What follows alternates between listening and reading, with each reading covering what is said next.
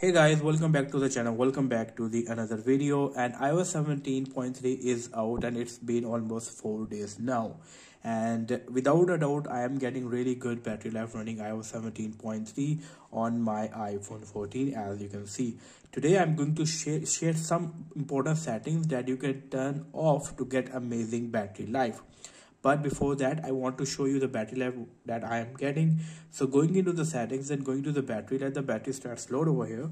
Going to the last 10 days over here as you can see on tuesday i got i used around 85% of my phone. I got 8 hours and 7 minutes screen on time which is insanely good.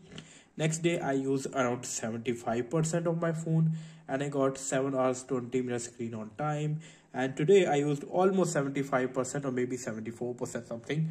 And I got 6 hour 33 minute screen on time using different applications as you can see which means I am getting really good battery life and you also deserve this battery life. So i'm going to share some of the settings that you can turn off to get these amazing battery life. So the very first thing you need to do is go to settings then go to journal over here. So if you don't use journal much just turn journaling suggestions off. This can help you to save a little bit battery but it can be really good one.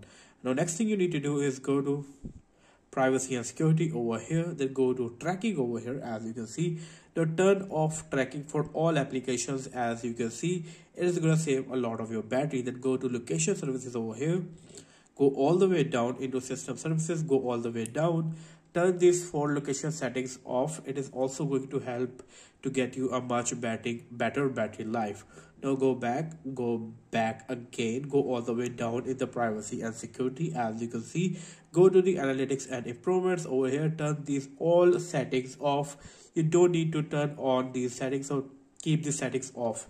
Now go back go to apple advertising turn this setting off to turn personalized ads off now go back go to app privacy report. Also keep this off. As you can see by tapping on this button it will on but for now it is off as you can see. Now go back go back go to the journal over here. Uh, sorry general over here then go to the airdrop over here and select the receiving off over here and if you want to turn off this uh, bringing devices together you can do that too but for me it is on for now. Well after doing these all settings you're going to get really amazing battery life as i am getting. I'm gonna show you that i'm uh, running ios 17.3 as you can see the build number is 21d50 and i am getting really good battery time as as uh, as i already shown you over here getting 8 hours and 7 minutes screen on time running different applications. So yes if you are facing any battery life issue with your iphone just follow this video follow the tips. Just turn off those settings which i showed you. It is going to give you a much better battery life. So that's it from this video. I hope you like this video. If you did give this video a big thumbs up. Do like and share this video. Subscribe to my channel for more videos like this one. And i will see you in my next video. Until then take care. Peace out